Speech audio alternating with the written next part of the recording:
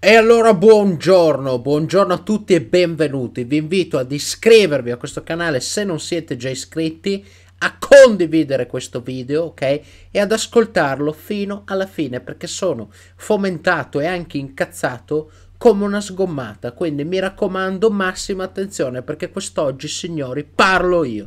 Seguite violapress.com che vi dà info, notizie, aggiornamenti, novità sulla Fiorentina, seguite sempre Forza Viola e seguite me su Instagram e su Twitter. Parlo di Fiorentina perché io ieri ho fatto le pagelle alla Fiorentina che vi invito a vedere se ve le siete persi e ho visto anche che altri giornali quotidiani critici hanno avuto ehm, la prontezza, diciamo, l'hanno fatto nello stesso giorno in cui l'ho fatto uscire io e così per curiosità mi sono andato a leggere in particolare eh, le pagelle di fiorentina.it con le quali diciamo in alcune voci concordo, per esempio anche loro hanno dato 5,5 a Ribery come, come, come ho dato io, in altre concordo meno, però soprattutto mi sono soffermato, e non voglio fare nomi personali, ma mi sono soffermato sulle pagelle eh, stilate stagionali stilate da Repubblica e Gazzetta, diciamo quella mini, quel, quel, quel pagellario diciamo stagionale citato in due articoli sui giornali Repubblica e Gazzetta e ho letto veramente delle cose, eh, avvocato, ho letto delle cose che ho detto Sandro, calmati, leggile, immagazzina, però poi rispondi e sono qui per questo perché ho letto veramente delle cose che non, non, posso, per quella che è la mia idea di Fiorentina, per quella che è stata eh, l'idea della stagione della Fiorentina, le leggo e dico abbiamo visto due stagioni, due Fiorentine, due situazioni completamente diverse, ma poi a parte la diversità di vedute che pure ci sta, ok? Ma proprio il dire ma come si fa a, dare certi voti e, e, e, e, a scrivere certe cose che a mio avviso sono anche in contraddizione tra loro, no? E vado, e vado ad elencarvi quali. Iniziamo da Repubblica. Allora, eh, su Repubblica io leggo un eh, 4,5 dato a Biraghi a fronte di un 6,5 dato a Venuti, ok? Allora, Venuti ha referto a un gol e un assist, ok? Biraghi ha 5 assist e un gol mi spiegate come si può dare questo tipo di valutazione, ok? Con la scusa, sempre col, con, con la classica narrazione di Venuti che si impegna, l'impegno di Venuti, Venuti ragazzo che dal cuore, dall'anima, ho capito, ma parliamo di pallone. Anch'io posso dare l'anima in eh, ingegneria idraulica ma, ma, non avere gli stessi risultati magari di uno che è più skillato in quell'ambito lì, no? Però uno qui almeno può dire, beh, alla fine saranno diversità di vedute, uno pensa che Venuti sia più forte di Biraghi, che abbia dato un, un contributo alla stagione della Fiorentina migliore rispetto a Biraghi, anche se i numeri a mio avviso hanno una loro indicazione, però sentite queste. Cioè si dà un voto alla stagione di 3,5, no? Cioè, secondo lo scrivente, la stagione della Fiorentina merita una votazione di 3,5. Cioè, già anche qui mi chiedo, è, è una pagella su Repubblica, si dà 3,5, mi chiedo che voto si sarebbe dato nel caso di una retrocessione, meno 4, non lo so. Comunque, vabbè, 3,5 uno lo dà perché effettivamente la stagione è stata deludente però poi leggi i voti degli allenatori e leggi sia 6 a Prandelli che 6 a Iacchini. Cioè, già anche qui siamo nell'alveo di di un qualcosa su cui non sono d'accordo perché non possono avere voti uguali i due allenatori, ma poi nella gazzetta leggeremo anche di più oltranzista. Ma come fai a dare voto alla stagione 3,5 e poi dare 6 ai due allenatori che sono protagonisti di questa stagione? c'è qualcosa che c'è qualcosa quantomeno che non mi torna. Perché se io, va, se io vedo una stagione da tre e mezzo agli allenatori che voglio dire essendo allenatori qualche responsabilità ce l'hanno giudizio coerente vorrebbe che gli do almeno 4 non 6 com'è che la stagione è tre e mezzo ma gli allenatori 6 cioè vabbè poi 6 e mezzo a Bonaventura e Castrovilli cioè ditemi per quale ragione eh, Bonaventura che da eh, centrocampista quanto ha fatto? 2-3 assist, 2 gol, una cosa del genere, 6,5 con il 4,5 dato a Biraghi, eh, non si sa perché, e 6,5 a Ribery giustificando il 6,5 di Ribery con la frase l'altro calcio di Ribery. Ma quale altro calcio di Ribery? Quello dei due gol da punta titolare al netto degli infortuni, quasi sempre titolare della Fiorentina, due gol col corrispettivo di milioni che gli si dà a stagione. Che tipo di coerenza c'è nel rapporto qualità-prezzo nel dare 6,5 ad uno che gioca da punta, che prende 4 milioni a stagione, due gol? 6 e mezzo per l'altro altro calcio quale? Che partite di altro calcio ha fatto Ribery quest'anno per meritarsi il 6 e mezzo? Poi veniamo alla Gazzetta. 7 a Ribery, ovviamente. 7 a Ribery ci ha fatto vedere cos'è un campione. Quando? Dove? In quali partite, con quali numeri, con quali risultati della squadra. In quale rapporto qualità-prezzo, risultati, squadra, classifica. Vabbè. 7 a Prandelli ci ha regalato un nuovo Vlaovic. Ora permettetemi, questa teoria, questa retorica sul Vlaovic aiutato da Prandelli, sul buon lavoro di Prandelli fatto su Vlaovic, ma in una certa qual misura, se è un qualcosa di limitato, di razionale, lo posso anche accettare. Non ho nessun tipo di problematica a dire che Prandelli può aver fatto un buon lavoro su Vlaovic, limitatamente al fatto che aveva poche alternative, limitatamente al fatto che era l'attaccante su cui la società aveva puntato, limitatamente al fatto che l'attaccante aveva già segnato anche prima. Ma guardate bene che questa retorica che spesso si legge che pur di dare dei meriti a tutti i costi a Prandelli, non, non, non fa il bene a mio avviso né di Vlaovic né della Fiorentina in generale perché sembra quasi sembra quasi che questo se non ci fosse stato Prandelli chissà cosa stavamo a commentare. Ma guardate che ragazzo ha anche delle qualità sue ha dei meriti lui ha dei meriti chi l'ha portato a Firenze hanno dei meriti gli allenatori delle giovanili che ci hanno creduto hanno dei meriti anche Pioli per certi versi che l'ha fatto giocare quei, quelle, quegli, quegli, spizziconi di partita quando c'era lui, ha dei meriti Montella che l'ha lanciato e confermato, ha dei meriti Iachini col quale segnava l'anno scorso e col quale ha continuato a segnare anche dopo Prandelli. No, perché a volte leggo delle cose che sembra che Vlaovic sia stato inventato da Prandelli, i meriti del ragazzo, e i meriti di chi l'ha fatto crescere, e i meriti di chi l'ha portato qui, l'ha portato ad essere questo, non esistono. Poi 7 a Prandelli perché ci ha regalato un nuovo Vlaovic e 6,5 a Iachini, cioè ha preso un voto più alto Prandelli che ha una media voto più bassa, una media punti più bassa di Iachini, ok? Pur avendo una media punti più bassa di Iachini, ok? Ha preso un voto più alto di Iachini stesso. 6,5 venuti anche qui perché ci mancherebbe e 4 ad Amrabat e Biraghi. Cioè voi spiegatemi com- cioè, con quale tipo di giustificazione ma, ma, non è una domanda retorica, è una domanda reale, cioè con quale tipo, e ve li lascio gli articoli in descrizione, cioè con quale tipo di giustificazione io posso leggere 4 ad Amrabat e Biraghi e 7 a Prandelli e Ribery. Cioè io se vogliono venire sul canale, se ne vogliono parlare, ma io invito volentieri, ma evidentemente abbiamo visto, abbiamo visto due fiorentine diverse. E siccome mi pare di aver azzeccato abbastanza di quella che è stata la stagione della Fiorentina precedente, cosa sarebbe successo, cosa è successo, com'è andata, forse abbiamo visto boh, delle Fiorentine diverse, si respira un'area calcistica diversa a Firenze rispetto a quello che magari vede uno non da Firenze.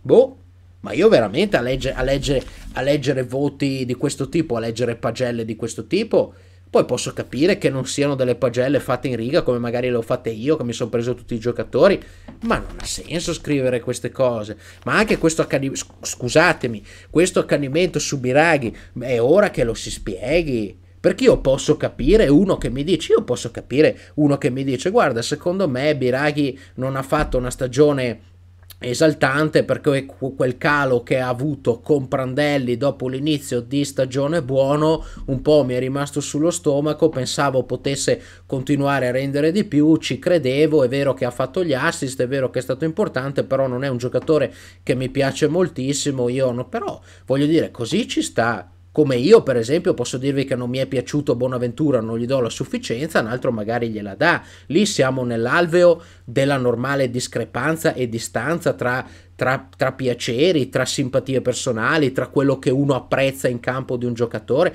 ma non questo tipo di, non, non questo tipo di discrepanze. E non mi limito a questi due articoli. Io vi ripeto, su Biraghi penso che ci sia un accanimento anche precalcistico che sarebbe l'ora di, di, di spiegarci da parte di molti e critici e tifosi, perché io per esempio quando successe quella cosa con Pezzella che dopo Fiorentina Frosinone se ne uscì dicendo stiamo pagando il fatto che la società eh, non ha ancora rinnovato il contratto a Pioli, me la presi anch'io, mi scese molto il giocatore e mi stette sui, sui maroni per diversi mesi, è da poco che ho, che ho superato quella cosa lì ma io ve l'ho sempre detto che quando parlavo di Pezzella, quando valutavo Pezzella, avevo ancora in testa quella cosa lì, che per certi versi anche mi offuscava il giudizio su Pezzella. Ma se tu c'hai una cosa altrettanto con Biraghi, che tu sia giocatore o giornalista, e dillo però perché io spesso vedo delle preconcettualità verso Biraghi che non mi sembrano figlie di una mera analisi calcistica,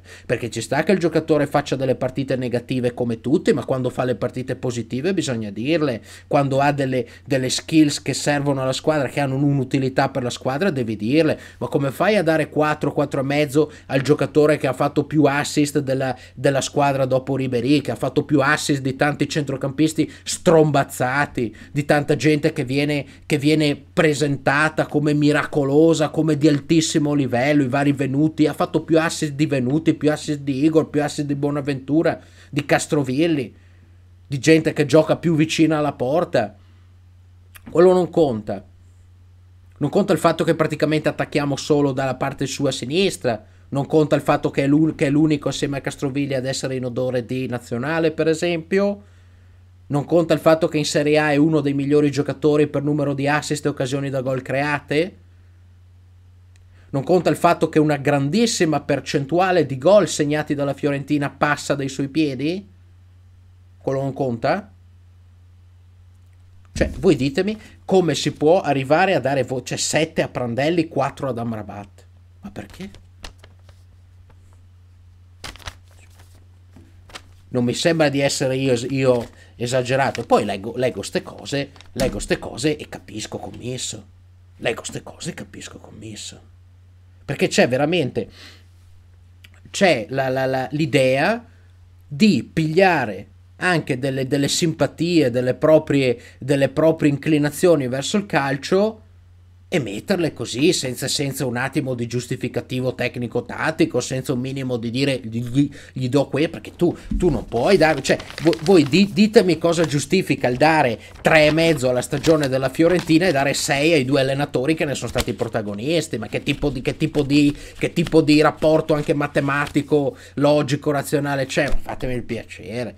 Poi, altra cosa di ieri, le scene di Borca Valero lì, col, che hanno fatto il muro, ancora con questa retorica da Sandro Curzi, di Borca Valero, il sindaco, la fascia. Ma basta, ma basta, stesso discorso anche di Venuti, gente idolatrata, gente per, per micro simpatie localistiche che non hanno nessun tipo di raffronto sul campo a fronte di altri magari che hanno, penso al Veretù quando era la Fiorentina, anche a tanti che invece vengono presi di mira da subito e magari pur avendo un'utilità importante che poi magari dimostrano altrove, avendo dei numeri, vengono subito presi di mira e messi in croce. C'è gente invece che tipo Borca Valero quest'anno cosa ha fatto? Ah, poi un'altra cosa, un'altra cosa, ovviamente non c'era Borca Valero nei voti di queste pagelle, ma oh, una riga una riga sulla dirigenza in queste due pagelle, per esempio, visto che la stagione era stata da tre e mezzo, ma un voto a Pradè, un voto alla dirigenza, un voto a chi l'ha costruita, sta squadra, niente.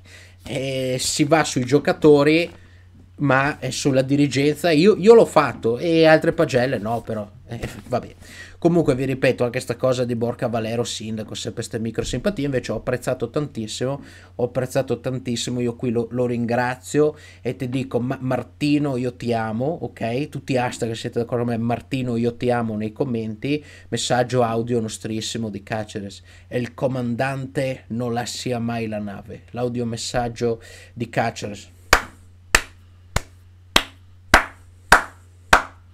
La giusta risposta, le giuste risposte a tanto parlare, a tanto vociare, a tanto catechizzare la data Martino. Martino capitano, ok? Sema, sema cristiano, ok?